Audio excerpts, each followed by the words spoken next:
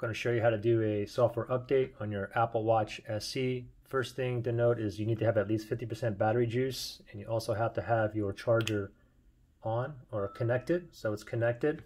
Now just go directly to your your Apple Watch app. Mine's right here so tap on that.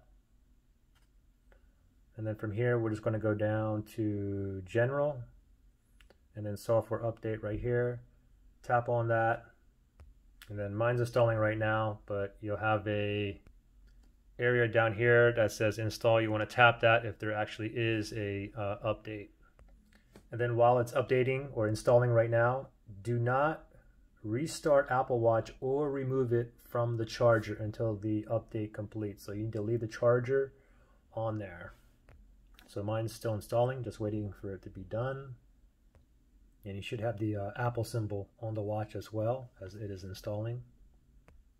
All right, finally done. That took a little while. Now I'm on uh, watch iOS 7.0.1 and it's up to date. Good luck.